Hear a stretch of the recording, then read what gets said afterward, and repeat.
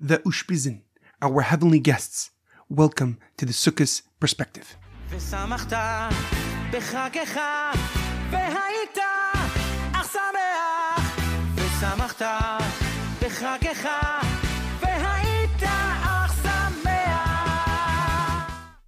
Sukkot perspective is in honor of the complete and speedy recovery of our Amitai ben Shoshanna and Ruchma Leah Bas Sarah.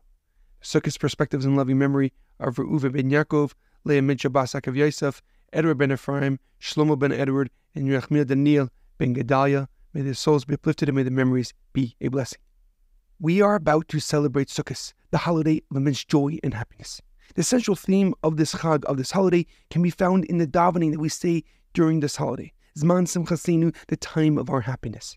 And this happiness, this joy, is due to the immense miracles that God gave to the Jewish nation in the desert. Specifically, the Ananei HaKavod, the clouds of glory that protected the Jewish people from the elements during their 40 year journey in the desert. We observe this holiday, we observe this Chag by eating, drinking, and spending as much time in the Sukkah as possible.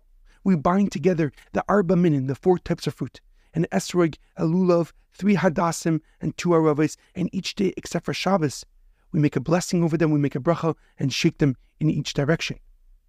One of the more unique traditions of Sukkot is the heavenly guests, known as the Ushpizin. According to the Zohar in Parshas Emor, each night of Sukkot has an intense concentration of spiritual energy and holiness relating to a great leader from our history.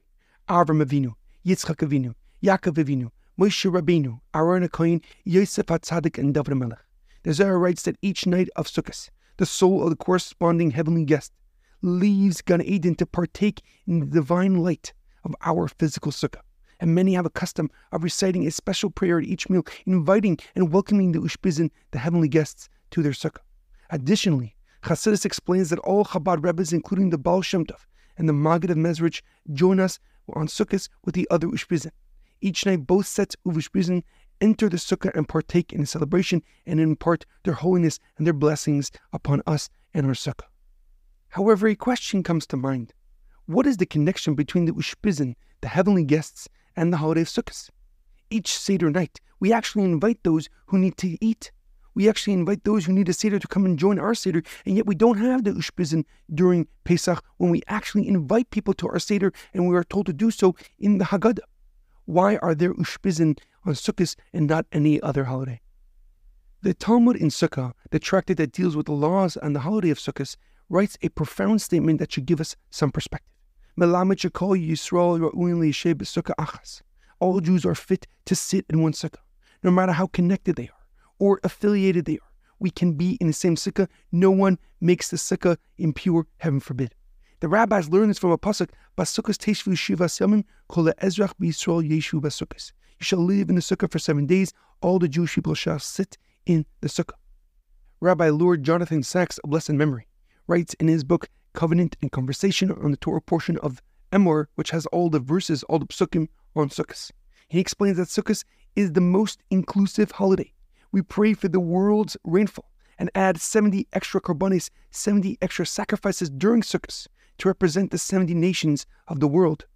But what's even more unique, writes Rabbi Sacks, is the unity that Sukkot brings to the Jewish people, whether through the binding of the lulav, esrog, hadassim, and aravis, or just being together in the sukkah, happiness and unity are at the core of our celebration of this Yom Tov, of this Chag.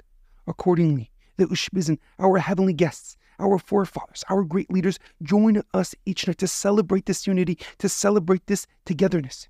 They transcend time and space to unite us with our beginnings, with the entirety of the Jewish nation, so we may all sit in one sukkah, Melamed Shekol Yisrael Ro'in L'Shei B'Sukkah Achas.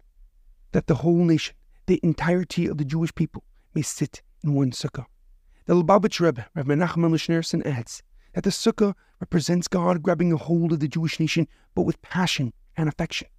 The walls of the sukkah symbolize his heavenly arms hugging us with kindness and compassion. So when we enter the sukkah with unity and with joy accompanied by our ushpizin, our heavenly guest, we fulfill the mitzvah of leaving the limitations of the past behind and jumping into the in total embrace of God. As the Torah writes right after the former pasuk that I mentioned, so that future generations shall know. Ki basukos hishafti b'nei Yisrael, that I made the Jewish people live in sukkahs b'hitziyoisam me'eretz Mitzrayim when I took them out of Egypt. Why? Ani Hashem lekechem, because I am the Lord your God. May we merit to celebrate this sukkahs, this holiday of joy with the ultimate happiness in Yerushalayim, in Jerusalem, with the third Beis HaMikdash, with the Geula Amitis Vashlema, with the ultimate redemption. Have a joyous and meaningful Sukkot. Chag Sameach.